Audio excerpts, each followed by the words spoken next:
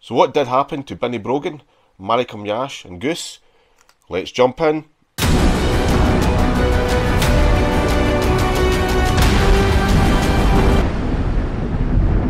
So September seen the release of Shadow of the Giants by Ian Livingstone and also The Secrets of Salamonis by Steve Jackson. I've had this game book a few weeks now and I've just managed to play my way through it over the weekend. So I'm going to give you my review of the game book and my initial thoughts on it. Um, there's going to be some spoilers here, but I'm trying and keep them to a minimum. Uh, I'm going to try not give too much away uh, regarding the, the gameplay of the book. So, uh, my thoughts on the game book. I really enjoyed this one. Uh, this was a very good game book by Livingstone. Uh, as I said there, I did really enjoy it. This game book did actually meet my expectations. Uh, I, I, did think, I was hoping this game book would be really good, and it didn't let me down at all. Uh, it flowed really well, uh, the great story. The, the most important thing for the game book for me was the characters. The characters in this game book, uh, you have a really invested interest in them. Uh, I'm going to explain why. Uh, this game book was heavily influenced by coinage or gold. Uh, you had to be very careful in what uh, what you're spending your money on. However, there is a lot of items in the book you don't need to have. I'd played around a third of this game book and only came across uh, several encounters, I think it was two, uh, enemies I had to face. Uh, it's not overabundance in the, at the start of the game book anyway, of monster encounters you have to fight com compared to the previous game book, Crystal Storms, where was a, you're overladen with the with the monster encounters. This was a bit different. But however, I did lose uh, quite a, quite a small amount of uh, skill and luck through the choices I made in the game book as well. So initial, initial thoughts at the start, obviously, coinage was important, goals important, same thing obviously, and uh, your decisions you had to make, and also who you met up with in the game book as well. And early on in the book, uh, Ian Livingstone does tend to uh, lay out a path for you, uh, like uh, I would say, give you a handout of decisions to make. For example, there might be an old lady in the doorway, or you might come across a lamp or something in the book, and he's kind of guiding you to uh, to basically have a look at it or accept it. So it's, it was a path you would take earlier on in the book.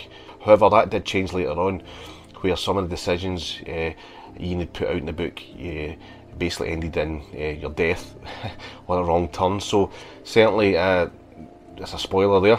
Certainly, the book itself uh, led you along the garden path, maybe at the start, uh, with some of the choices, and later you kind of paid the price for it if you followed that same route.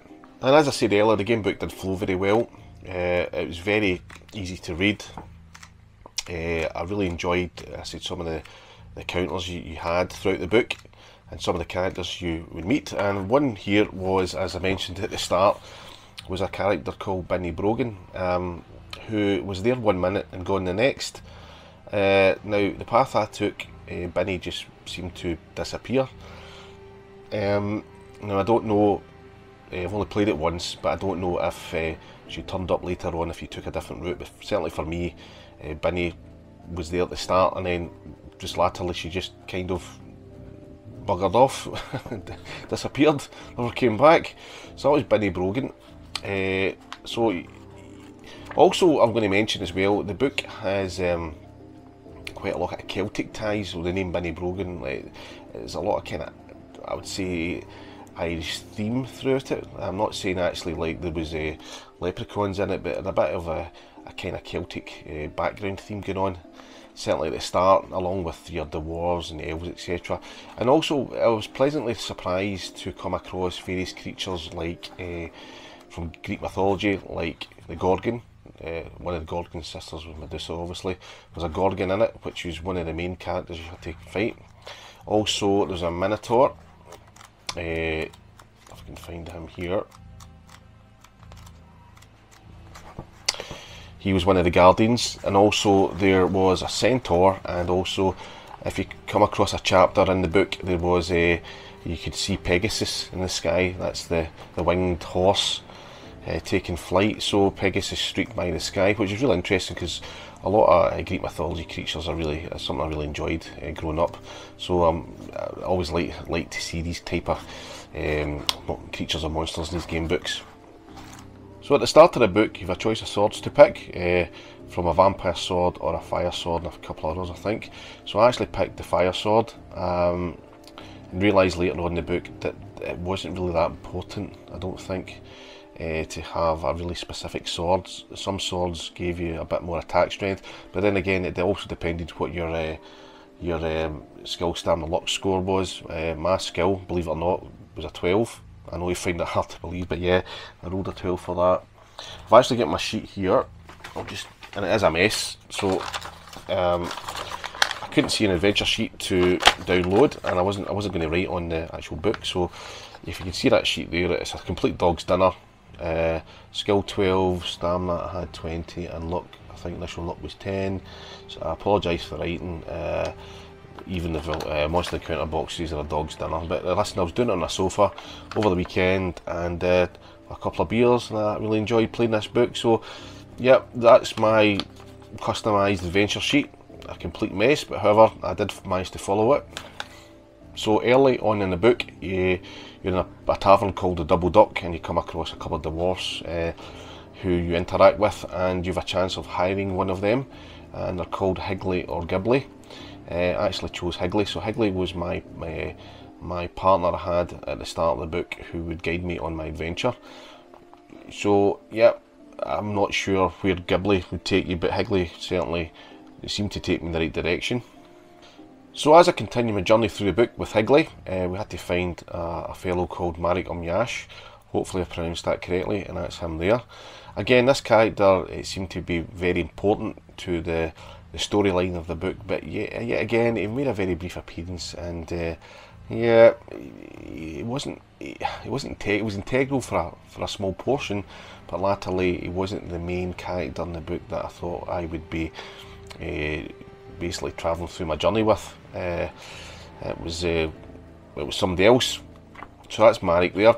So another person in the book that was really important, in fact, very important to your to the your quest was a fellow called Goose, and that is him there. So this is Goose here, it looks like a weather-beaten madman with a long beard and moustache. Uh, he's in fact very important to your quest throughout the book, and you actually spend a lot more time with this uh, character than any other.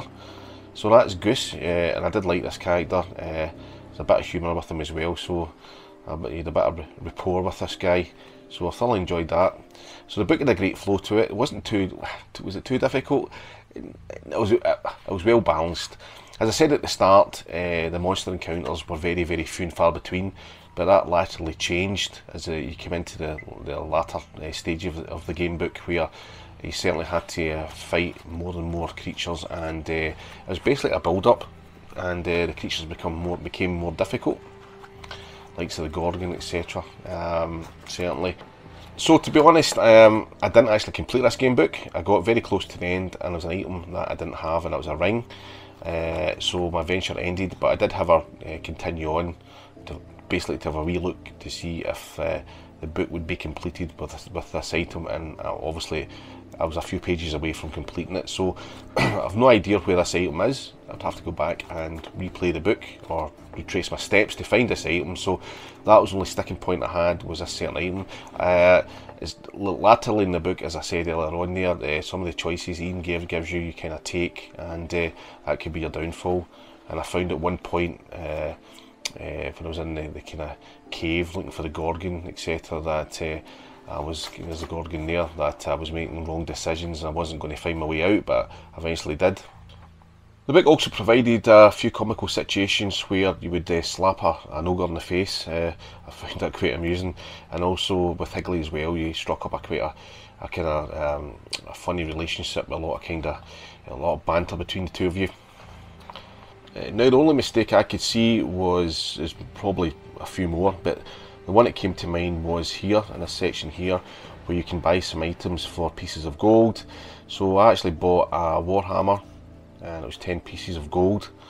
Uh, when I turned to page 74 in the book, the Warhammer price had changed uh, to the gnome pockets 5 pieces of gold tells you that Warhammer will give you more options in combat. So it changed from 10 pieces of gold to 5. So I wasn't sure how that was meant to play out, so it looks like an error from uh, the writer there. There's a lot in this game book I did like, and one of them was the artwork by the illustrator, uh, a chap by Mike McCarthy. The artwork is absolutely stonking in this game book, fantastic. Uh, Binny Brogan there. When, he when I looked at this book earlier on, in my first, wasn't a review, but just as a quick run through the game books when they get released, uh, a quick run through the artwork. But when you actually see it, when you're playing it, it's uh, some of the artwork is fantastic. The soldiers there as well. Uh, that that one wasn't the, wasn't one of the better ones, but uh, hold on, some here. Uh, look at that, the wraith, fantastic. What's well, a demon? Sorry, screaming demon, excellent. Uh, look at the ogre, awesome. Uh, the, the, gorgon, that's not the gorgon, but this one here. You've got a screaming lady, uh, hair with black spiders in it, fantastic. Reminds me a bit like um, what do you call it, House of Hell.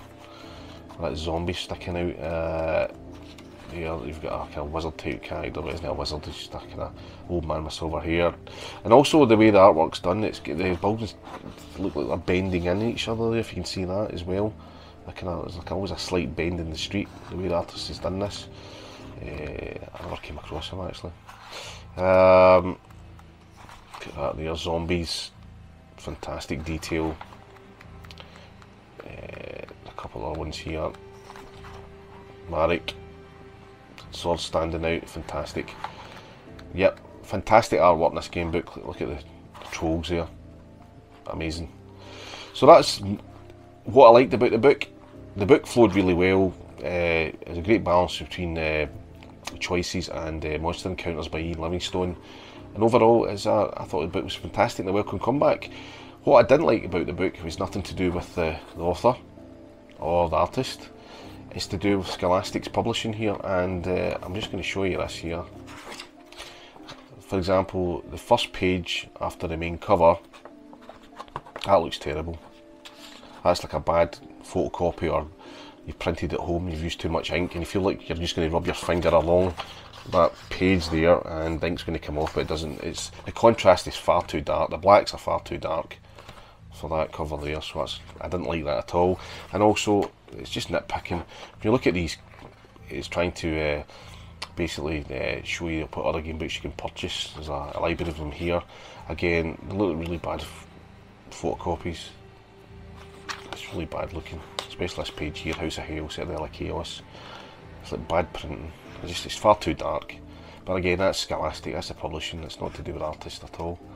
But other than that, the game book itself, yeah, great welcome uh, edition by Ian Livingstone, and I thoroughly enjoyed this game book. So that's Shadow of the Giants by Ian Livingstone, and uh, if you like the content of this video, please consider subscribing to the channel and give, giving this video a wee thumbs up, I really appreciate it. My next video is going to be, well, hopefully the next video, I might do one or two in between, is uh, The Secrets of Salamonis by Steve Jackson to see how this one compares to this one. But uh, yeah, thanks again for watching, and I'll see you in the next episode.